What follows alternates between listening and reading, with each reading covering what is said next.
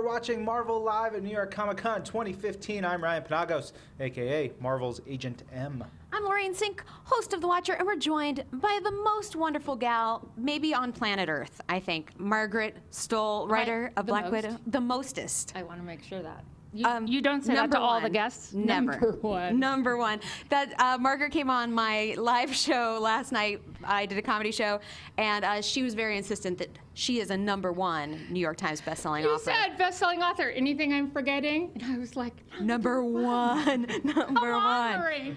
I said, you don't have to say that. From now on, I think we're just going to call you number one. Agent M, number one.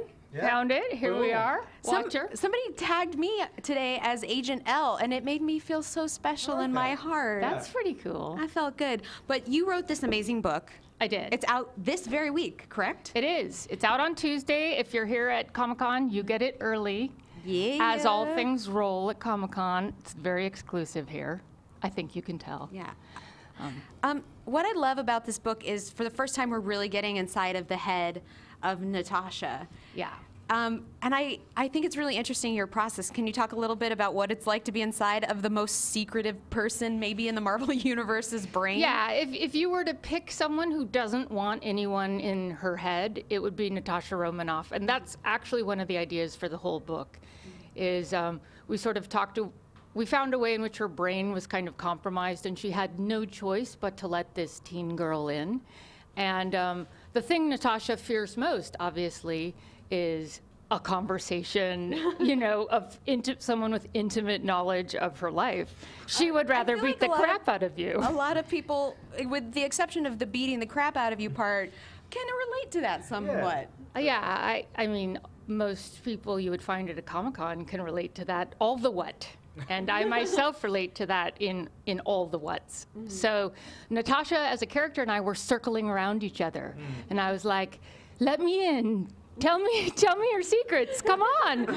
But I was almost too respectful and too afraid. And I was, I like, couldn't do my normal jazz, you know, because I, I felt like she just wouldn't have it. And then very slowly, she let me into her head. I let her into my head. I sound like a mad woman. but I, I mean, I, I read every comic. I read probably more than 100 spy books. I read encyclopedias of weapons, bombs, munitions, military on two continents. I mean, that's what you do when you're making a video game. That's what I did for Spider Man, Fantastic Four. You have to do it. So um, I did it, and then you become like a slightly messed up, different person. I wish you'd actually do some research, though. Like, Yeah. It seems like It you're seems like slacking slack. a little bit. well, it's, it's just a comic book. it's just a book. No, there, it's actually Black Widow is the hardest job I've ever had. Really? Yeah, like really, I've never worked so hard in my life. I wrote a 70 page outline and trashed it and started over because of the Marvel fandom. I was just so, I was so honored for the job and for Natasha, and I just wanted it to be perfect. Yeah. Um, I'm, this is kind of the first time we really get to see that part of Natasha's Yeah. history. I mean, that you must feel a lot of onus on yourself about that. Yeah, well, I knew Red Room. I mean, that's what we all kind of know, but that's really all we kind of know. So I knew there would be a Russian origin story. At the same time, with a teen character, you're kind of working with a legacy character. So you had this sort of origins legacy balance going that was kind of cool. Um, but I also worked really, really closely with two particular women, Sana Amanat, uh, obviously you know, Marvel Goddess, and Disney's um, Disney Marvel Press Emily Meehan, who kind of runs the book side. And they brought really different things in a really interesting way about like sort of expertise in teendom and expertise in character building and what Natasha's canon backstory would be. And I feel like we really evolved the book in a way that had everyone not wanted this to happen this way, it would never have been able to happen. Yeah. I'm interested in.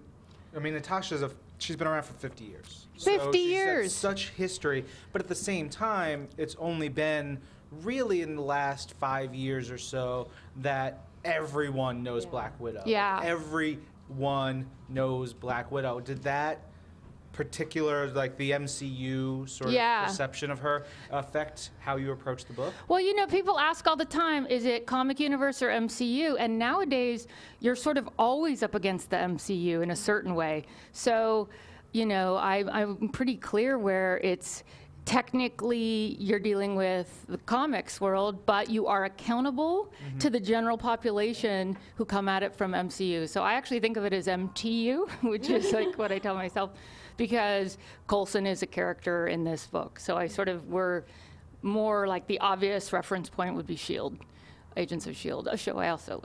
So um, you know, it's it's worked out, but definitely, and think about it from a teen. I'm a YA writer. I, so I have 14 year olds. A 14 year old just interviewed me, who had never, you know, opened a comic book, and who actually like her. She was coming at it from the world of young adult, right? And then I have grown up big boys like my husband or myself who come at it like strictly from you know the marvel fandom so i'm really juggling uh, readers here but that's cool That's awesome. because then you're kind of opening up you feel like you're doing your part to open up both of those worlds to something they might not have done before You mentioned earlier uh, your video, some video game stuff. And Yeah. It was in, it's in my head. I'm like, I know you worked on video game stuff, what, what is the breadth of that? i am so incredibly young that i worked on spider-man for the playstation 1 Whoa. Yeah, yeah. Boys and girls, long ago, there was a miraculous device called the PlayStation 1, and it did things we could never imagine. and I worked on that.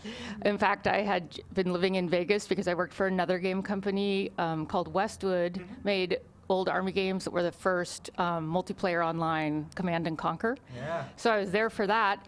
And um, so there's Vegas level in that Spider Man game because I had Vegas on the brain. And then we worked on Fantastic Four. We had a game developer. I was a co founder of Seven Studios with my husband, and we had um, a big team do Fantastic Four the first time it was a movie. So um, back in the day, also proof of my youth, um, was two casts ago. And uh, that was a huge Marvel experience. And what, probably my first Marvel experience, sitting down and reading every comic um, at that, well, everyone at that time, you know, which was up through Venom, the Venom storyline. But like, you know, then I was like, wow, I'm immersed in this world. This is what I want to do. And then I just kept reading. So that was my, my beginning. But I've worked on about 25 video games. in Any, the past. any other big names that you know, Um, fans would pick up? Some on? Pirates of the Caribbean stuff, a Jack Sparrow one, some um, Need for Speed, one Sure. of the one of the many, uh, some Giant Robot manga, Slave Zero, some, um, you know, the multiplayer, the Command and Conquer stuff, love Red. Alert Retaliation Oh, yeah. um, was around on Tiberian Sun, some space stuff, um, Earth and Beyond, and you know the beginnings of some of those games. So you're really pigeonholed into Yeah. being very specific type of writer. Yeah. You know, really not branching out at all. One of my favorite jobs was Dune. Was one of the controversial Dune adaptations, and that was a good lesson for me now that I'm writing. Um, an adaptation was that you know we invented a house in Dune, one of the seminal sci-fi books, which is like a major crime, really, to like invent like a whole new story. It's like inventing, you know. I guess people like to add to the Star Wars universe, but now I just feel like I can't say anything. People, uh, I had Beautiful Creatures adapted into a movie, one of my early YA books, and I was like, I can't say a word. I've done this to everyone. so you just, you know, I look at it all as very expensive fan art. So, what attracted you from video games to move more towards YA? All the words. Like Words? sometimes, Like with, sometimes in video games, you know this that like you could write. Sometimes I was there at the beginning writing a whole storyline, and I have a game designer. You know, I'm the, I was the lead designer on some old fantasy games, Zork Grand Inquisitor. I, you know, was nominated for uh, fancy awards for that. But sometimes you're hired in after the fact, and you have to like piece together words from the B-roll that were already spoken to try to get a sentence together. I know what that's like. I've video edited. yeah so i mean it was you just from video games i learned you got to do you got to be able to do anything and i learned how to build a universe in 3d before i even learned how to build it in words which is kind of weird hmm. so i come at building universes by building universes right how how funky is that but i learned a lot and i learned that you have to stick to the rules you set up I learned your fans will hold you accountable for everything. There is no such hard review as a review you get on a video game from like a 12 year old contractor who works for like, you know, Game Informer or whatever. Mm-hmm. Like you, you think you've seen a rough review? yeah. So I learned, I learned about how to work with 100 people at a time. Mm-hmm. and I learned about like taking your tiny part of a, a job and like like just working the the crap out of it, like doing everything you can, even if you're one cog in a hundred person machine, because you love the thing you're working on. So is it then strange to go to writing a novel Yeah. where you're I mean you're collaborating with your editors but you're essentially alone a lot talking to imaginary people. It is. it's super weird, and and I think you become friends with a lot of writers who do what you do. You love your readers. You spend a lot of time online procrastinating, but um, but you also um, you have like the characters. They're kind of like creepily creepily real, right? So you have an actual Natasha in your head. I write terrible, terrible Tony Stark jokes. That's like my favorite thing to do. They probably cut 100 pages of Tony Stark out of this book. And he's like, in the Tom and Jerry cartoons, the little like angel and devil that sit on your shoulder, I kind of have like a Tony in a cap. And they were like, "Wah, wah, wah, arr, wah, wah, wah." That's actually what Civil War is like. I, I heard that. And I, yeah, and they like, that's in your head. You Yeah. can't get them out of your head, as you probably know. yeah. yeah. And you have a new a new widow. I do. Can you tell us a little bit about We the have new uh, the? Red Widow, who I may or may not be in full cosplay as tomorrow. at the Women of Marvel panel. At the Women of Marvel panel, shout out, If where here, we may or may not be. yeah, together. That's not something you want to miss. Yeah. We um aw, I I really love you so much. I love so much. We spent quality time together last night, and I have some great pictures of us. Just we're talking like this. Like, Lorraine is going on tour with me. I'm actually touring Yeah. with Women of Marvel. That's right. We're taking it out on the road, ladies and gents. So that will be some exclusive good times Yeah. in Chicago and Santa Monica, Santa Monica. San Francisco. San Francisco. Where And else? then you're going Austin, right? Yes, and I'm going to see G Willow in um, Seattle. So there you go. It's all Adri, our our uh, Marvel uh, social media, will be with us in uh, at the kickoff in Salt Lake City. And Thank you. And one of our producers, the lovely Judy Stevens, will also be there. Judy, yeah, Who's probably off Not shooting here. photos of something somewhere. Yes. Uh, I love the tour stuff, but I want I do want to make sure fans understand Red Widow is Yeah. this awesome new character. yeah, yeah, It's yeah. actually been in comics now, and it's Yeah. like this whole big thing. Well, we had to develop a teen character um, who could really sort of share the limelight with Natasha Romanoff when we decided to do this as a YA novel.